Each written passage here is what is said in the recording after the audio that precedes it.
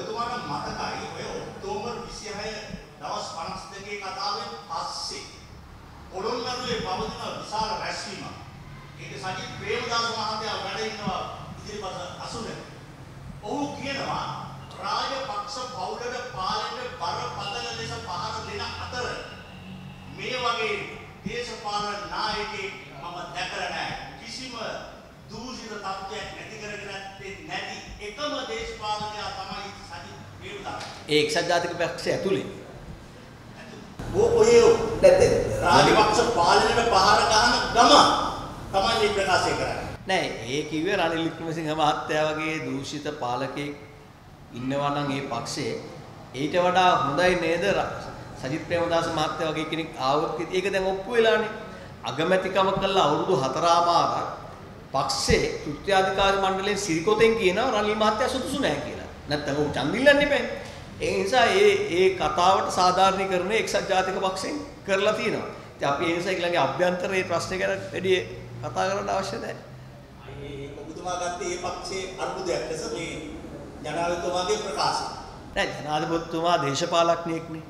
ඒ ජනාධිපතිතුමා ඒ කියපු කතාව ඔප්පු වෙලා තියෙනවා සිරිකොතෙන් අනුමත කරලා තියෙනවා සජිත් හොඳයි රනිල්ට වඩා කියලා. ඉතින් එතනින් එහාට මොකක්ද? දැන් ඔබතුමා කියනවාද මේ සජිත් ප්‍රේමදාස චරිතය කියන්නේ බොහොම නිර්මල පිවිතුරු දේශපාලකයෙක් කියලා ඔබතුමා කියනවා. දැන් අද නාම යෝජනා දීලා තියෙන්නේ. මගේ සහයෝගය ගෝඨාභය රාජපක්ෂ මැතිතුමාට. ඒ නිසා දැන් මම ආයි කැරක්ටර් සර්ටිෆිකේට් දෙන එක සුදුසු නෑනේ. ඇයි ඒ එතුමාගේ පැත්ත ගන්න ඔබතුමානි එතුමාගේ පැත්ත නොගන්න? කාරණා හතරක් මම ආයෙත් කියනවා. එක සජිත් ප්‍රේමදාස මහත්තයාගේ අගමැති කවුද? අගමැති වෙන්න පැහැදිලිවම ඔහුට එකඟ වෙන්න වෙනවා රනිල් මහත්තයාට. රනිල් මහත්තයාගේ සහායය නැතුව සජිත් මහත්තයාට දේශපාලන ගමනක් ඒ පක්ෂේ නැහැ. ඒක නිසා අපි ඒකට විරුද්ධයි. TNA එකේ සහයෝගය නැතුව කවදාකවත් රනිල් වික්‍රමසිංහ මහත්තයා ඇතුළු එක්සත් ජාතික පෙරමුණට අපිට බෑ දේශපාලන වශයෙන් බලාපොරොත්තු වෙන්න. ඒකට අපි විරුද්ධයි. තුන්වෙනි එක මේ රටේ අන්තවාදීන් පෝෂණය කරපු අන්තවාදීන් එක්ක වැඩ කරපු රිෂාඩ් බදුදීන් මැතිතුමා ඇතුළු පිරිසට දැඩි විවේචනයක් අපේ පක්ෂෙන් සහ අපේ බිමේ තියෙනවා. අපි ඒ අයගේ දේශපාලනය එක්ක එකතු වෙලා වැඩ කරන්න බලාපොරොත්තුවක් නැහැ. අපිට එහෙම රවුෆ් හකීම් මැතිතුමා එක්ක අපි එහෙම කියන්නේ නැහැ. ඉස්බුල්ලා එක අපි එහෙමම කියන්නේ නැහැ. අතවුල ගැන අපි එහෙමම කියන්නේ නැහැ. නමුත් අපිට රිෂාඩ් බදුදීන් මැතිතුමාගේ දේශපාලනයේ ගැටලුව අපිට තියෙනවා.